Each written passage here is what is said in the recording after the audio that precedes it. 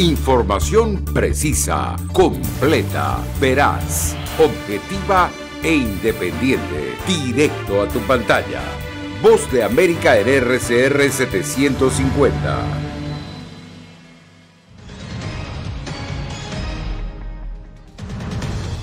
En víspera de las elecciones en Nicaragua, Estados Unidos pone mayor presión sobre Daniel Ortega con la ley Renacer. Corte Penal Internacional abre investigación por delitos de lesa humanidad en Venezuela. Además, la Casa Blanca ordena vacunación obligatoria para más de 80 millones de trabajadores. Y en Bolivia piden que secuestro de periodistas no quede impune.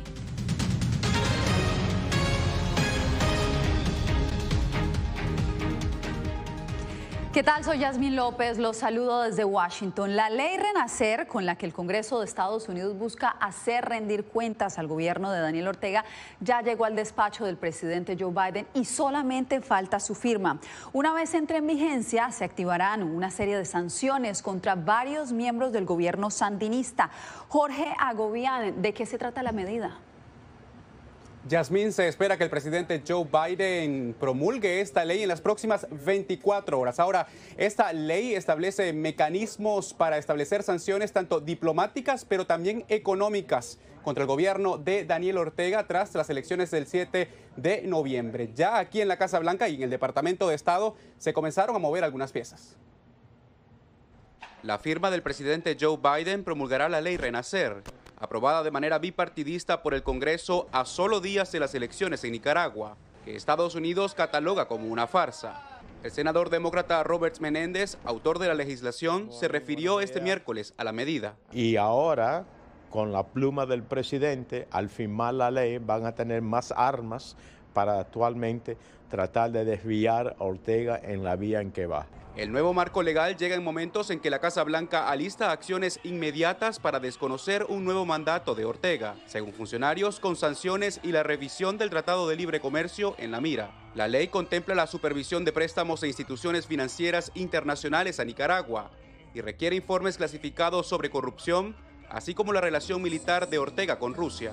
Eh, esto no es un problema solamente de Nicaragua, es un problema para todos en el hemisferio. El representante republicano Mario Díaz Balart apoya la expansión de las medidas. Pero también presionar a los eh, países que están ayudando a Ortega, que le están eh, otorgando financiamiento o financias, o, sea, o, fondos eh, para él poder mantener la represión. El gobierno de Managua considera las acciones de Washington como una práctica injerencista y asegura que las designaciones no los harán cambiar de opinión.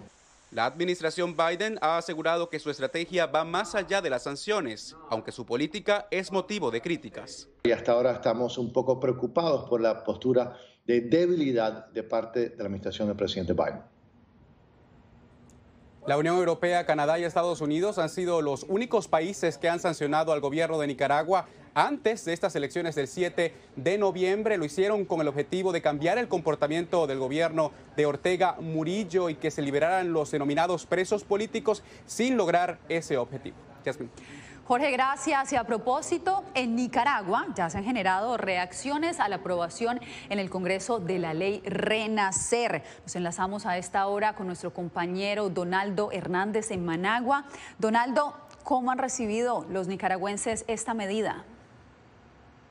Yasmín, organizaciones de la oposición nicaragüense han respaldado la ley Renacer porque consideran que se va a ejercer mayor presión sobre el gobierno de Daniel Ortega y este hará reformas democráticas que conduzcan a unas elecciones justas y transparentes. La ciudadanía no opina sobre la, la ley Renacer, sin embargo, está clara de la decisión que va a tomar este domingo en las urnas, en estas elecciones en las que el mandatario nicaragüense Daniel Ortega busca un cuarto mandato. El principal afán de Zoila Roque es vender sus tortillas y helados en esta esquina del barrio Loma Linda de Managua. Afirma que ya tomó una decisión respecto a las elecciones presidenciales del domingo en Nicaragua. Si yo no salgo a vender con mi carretón, a vender esquimo, no mierto. Porque a mí nadie me va a decir tomar. Sí. Porque a mí no me va a decir, el, gobierno me va a decir tomar que tú vas a tener un plato de comida ni nada, tengo que trabajar. Zoila pertenece al grupo de nicaragüenses que permanecen desanimados. La reciente encuesta de la firma costarricense Sid Galud revela que el 44% de la población tiene poca o ninguna intención de votar. Un 55%, la mayoría, afirma tener mucho o algún interés en los comicios. ¿A qué voy a hacer? A votar. Sí, voy a ir, pues como ciudadano nicaragüense estamos en el deber ciudadano de votar ahí con la persona que, que uno quiera.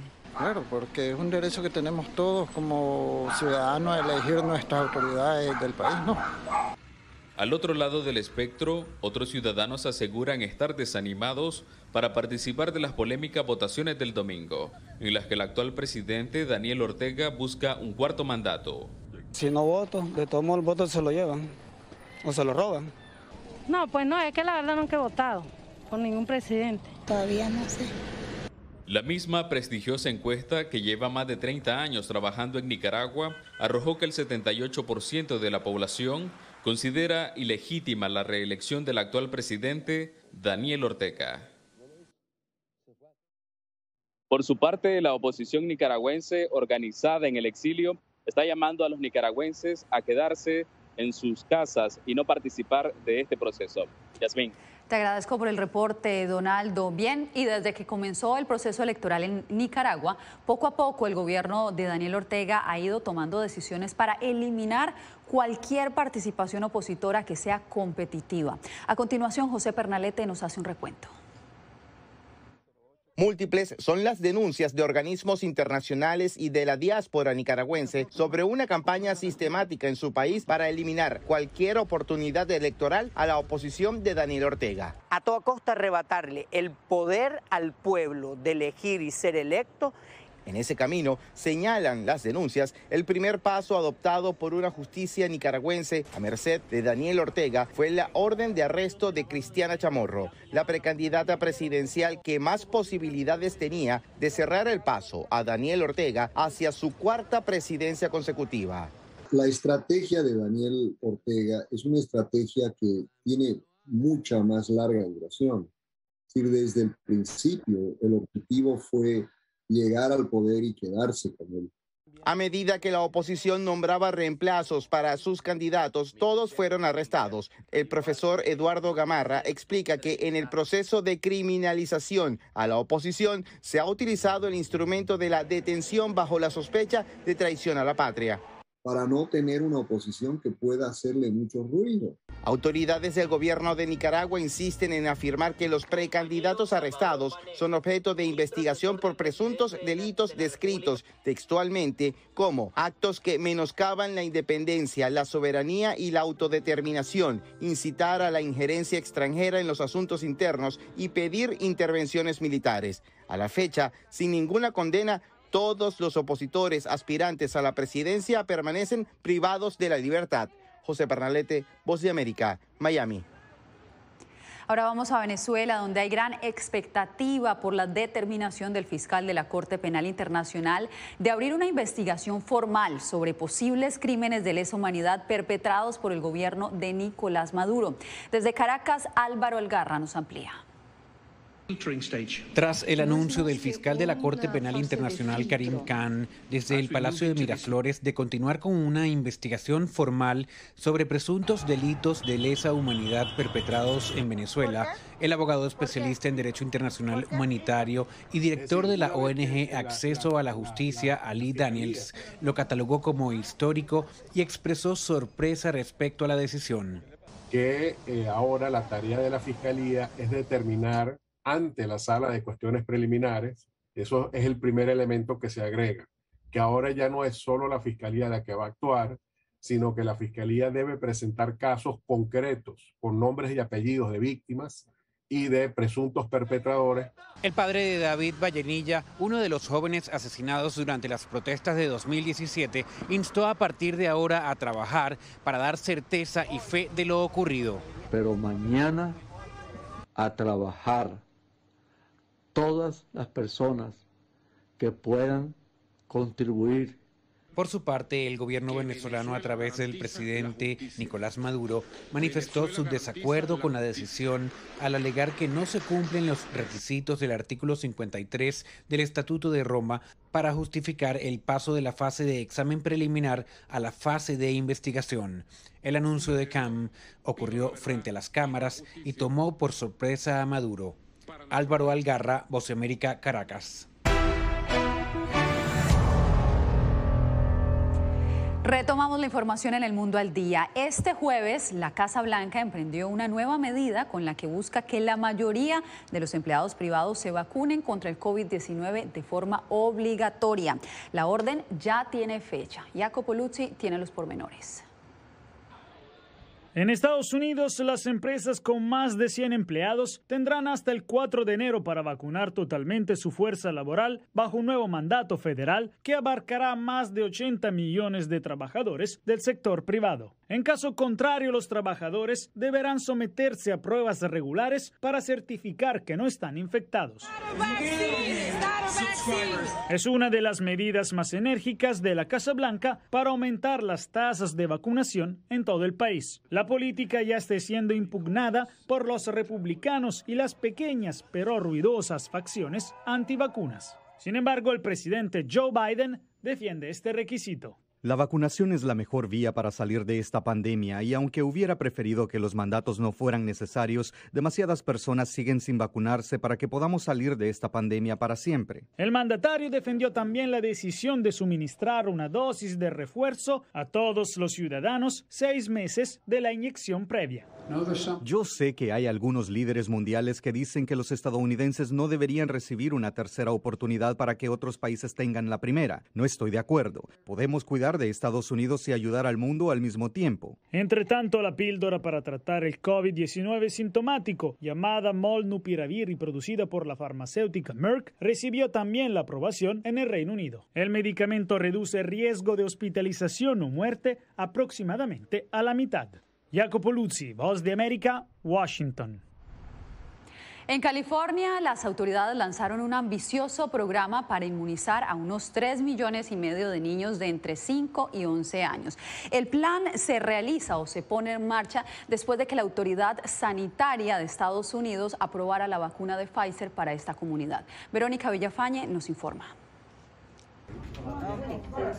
Niños californianos entre 5 y 11 años ya comenzaron a recibir la vacuna Pfizer BioNTech contra el COVID-19, la única aprobada para uso en menores, dando inicio a un programa estatal destinado a vacunar a todos los pequeños elegibles, aproximadamente 3 millones y medio. La dosis para los niños de esta edad es un tercio de la dosis que se está administrando a todos de 12 años para arriba. Para el doctor José Mayorga, director ejecutivo del Centro de Salud Familiar UCI, la aprobación de la vacuna contra el COVID-19 es un alivio. Porque yo también soy padre. Mi trabajo número uno es proteger a mis niñas y a vacunarse cuando se enfrenten contra el COVID-19. Van a estar preparadas a defenderse. Sus hijas de 5 y 10 años recibieron la primera dosis de la vacuna el miércoles en la oficina de su pediatra. Hay 4.000 sitios en todo el estado, incluyendo clínicas, centros comunitarios, farmacias y escuelas habilitados para inocular a los niños. Para aquellos padres renuentes a vacunar a sus hijos, el doctor Mayorga advierte. Es muy comprobado que nuestros niños se pueden enfermar y aunque se pueden recuperar de la infección aguda, el problema es los efectos de largo plazo. Al anunciar el plan de vacunación masiva para los niños más pequeños, el gobernador Gavin Newsom afirmó, con las vacunas vamos a poner fin a la pandemia y a mantener protegidos a nuestros niños de este mortal virus. Verónica Villafañe, Voz de América, Los Ángeles. Entre tanto, en Honduras, el gobierno fijó una fecha límite para recibir a los nicaragüenses interesados en vacunarse contra el COVID-19. Óscar Ortiz nos da los detalles. Hasta el próximo 6 de noviembre podrán ser vacunados los nicaragüenses que siguen llegando a Honduras buscando la inoculación contra el COVID-19. Los nicaragüenses únicamente necesitan presentar un documento de identificación para ser vacunados y regresar a su país. Las autoridades hondureñas aseguran que la vacunación a ciudadanos del país vecino no interfiere con el avance de la inmunización en Honduras. hemos aplicado alrededor de unas 34.926 vacunas a nuestros hermanos de Nicaragua. Hemos priorizado a nuestros hondureños, ¿verdad? Que eso es nuestra prioridad. Como muchos de sus compatriotas nicaragüenses, para Sara Gómez era crucial obtener una vacuna aprobada por la Organización Mundial de la Salud. Y esa no tiene, no, no nos garantizan este, para salir fuera del país, no nos garantizan que es buena vacuna. Y si no nos protege, no nos sirve esa vacuna. Carlos Sorto es otro de los muchos nicaragüenses que se vacunaron en Honduras y esto dijo. No es que seamos políticos ni cosas por el estilo, pero este es un gran gesto de humanidad. Gracias, gobierno de Honduras, y que Dios me lo bendiga. El gobierno de Honduras ha expresado su decisión de colaborar con los nicaragüenses y el presidente Juan Orlando Hernández enfatizó. Fuerzas Armadas también en este momento, hoy, junto a la policía, están atendiendo a nuestros hermanos nicaragüenses que ingresan al país. A diario se aplican alrededor de 5.000 dosis a los nicaragüenses que siguen llegando, buscando una vacuna certificada por la OMS ante los cuestionamientos de la aplicación de la vacuna cubana en Nicaragua. Las autoridades hondureñas no han dicho cuándo suministrarán la segunda dosis a nicaragüenses. Oscar Ortiz, Voz de América, Tegucigalpa.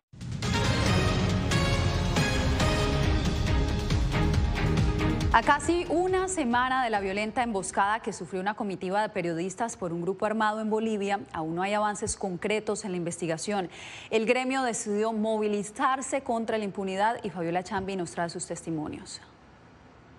Que si tengo que morir ahora, que sea de manera rápida, que ya dejen de torturarnos, que dejen de golpearnos, Así relata el experimentado periodista boliviano Mauricio Egues lo que califica como el peor momento de su vida, cuando hace una semana durante una cobertura de prensa en Guarayos, en el departamento de Santa Cruz, fue secuestrado y torturado junto a otros cinco trabajadores de la prensa que llegaron a esta región por una disputa sobre propiedad de tierras. Policías y civiles también fueron retenidos junto a los comunicadores. Me dispararon cuatro veces.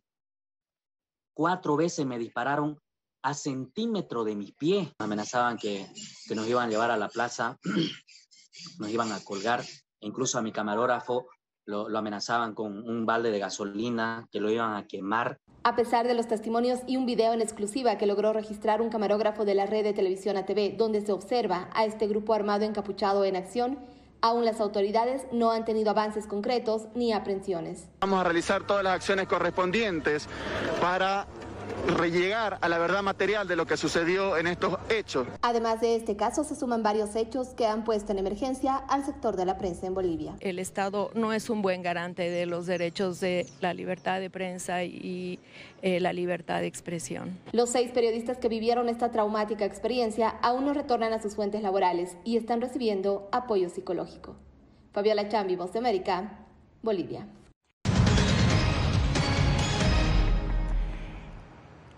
La Oficina de Estadísticas Laborales del gobierno estadounidense registra una disminución en los reclamos de subsidio por desempleo. 269 mil estadounidenses pidieron la ayuda en el mes de octubre, 14 mil menos que en septiembre. Con esta reducción, el número de solicitantes se aproximó a los niveles previos al inicio de la pandemia en marzo del 2020. En más información, a pesar de algunos pronósticos positivos para el futuro de la economía latinoamericana, el Fondo Monetario Internacional asegura que la región enfrenta grandes retos que podrían retrasar su recuperación. Laura Sepúlveda nos explica quiénes serían los más afectados. Aunque algunos organismos ofrecen perspectivas positivas sobre la recuperación económica en América Latina, el Fondo Monetario Internacional ha expresado preocupación por algunas condiciones que podrían ralentizar el proceso.